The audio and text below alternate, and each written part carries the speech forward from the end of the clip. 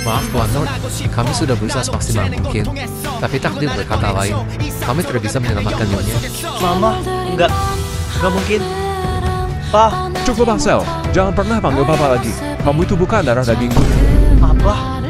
Eh, kenapa ya Tuan Muda Axel nggak bisa senyum? Dia itu anak haram, bukan putra kandung Tuan Lord. Dan kenceng-kenceng. Ah, dia pakai headphone ini. Tuan Muda Axel, ini saya bawakan seragam baru Anda. Mulai besok Anda akan pindah ke sekolah Stormhold.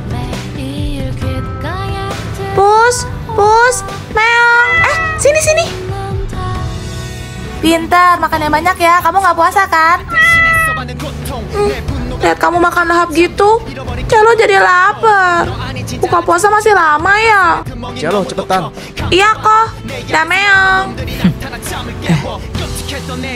Part selanjutnya cek kolom komen.